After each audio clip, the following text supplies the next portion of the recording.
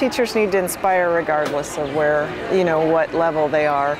Um, they also need to like it. I think um, uh, you see as sometimes as teachers go along in their career, they, they don't always seem to like it as much as the younger ones. So I think I think that they should you should know they like it the whole time.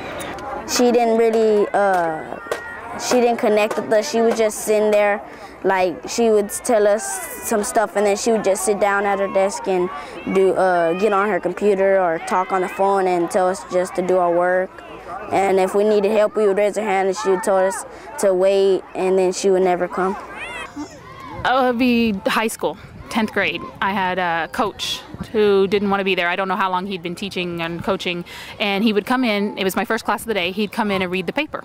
And he'd put our assignment up on the board. And we were supposed to read the assignment while he read the paper. So, needless to say, I missed quite a few of my first period classes. And um, the counselor called me in and said, What's going on? You keep missing your class and you're a good student. What's going on? I said, Well, I can read the book at home and sleep in late. I don't need to watch Coach Bryant read the paper. He can do that by himself. so I um, chose not to go in. I said, When he starts teaching, I will show up. He gets paid to be there. I don't.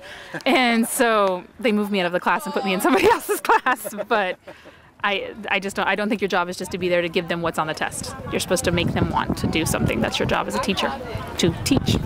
I had a teacher who just tells you to do something, but she doesn't explain you the work, what you're supposed to do, and help you. She just sits down and is on the computer.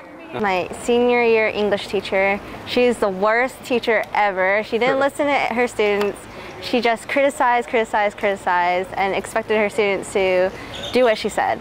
They just kind of, uh, they're very, they don't ever get to know their students, and they just kind of teach the work without really uh, interacting. And I think that's uh, that's not the type of teacher.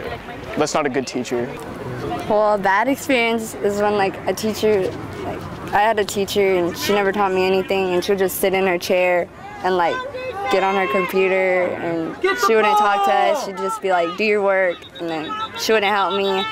And with somebody who was really hard to get in touch with. Um, I was trying to email them and they just wouldn't respond to emails and it was really hard to go to their office hours and I was like skipping lunch and stuff to go to office hours. So that was, I think it was just the lack of communication that really kind of turned me off in that class. So being biased, government class, um, trying to influence us not to be liberal and giving us his point of views instead of just what teaching us about government and how it's run and he would just be like oh liberals suck and all these things uh, be more conservative taxes and all these i don't know it was not a good it was a fun class but it was not a good learning experience.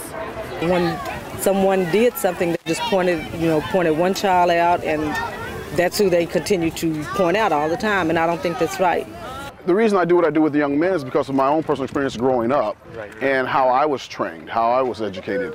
And I, I, start by saying I was locked in a closet in the fifth grade uh, because they couldn't control my behavior. They couldn't control who I was. But the, the bottom line is they didn't understand me. Uh-huh. They didn't understand that I was a quick study. Right. And in doing so, as soon as I learned the lesson, I was looking for to, to get that boy energy out, out of my system. I was looking to, to create havoc right. primarily, right. Uh, or whatever it was, just right. to test the limits and so forth. Um, I, I, took teachers to the limit all the time mm-hmm. because they didn't really understand what, what was going on with me, and they weren't.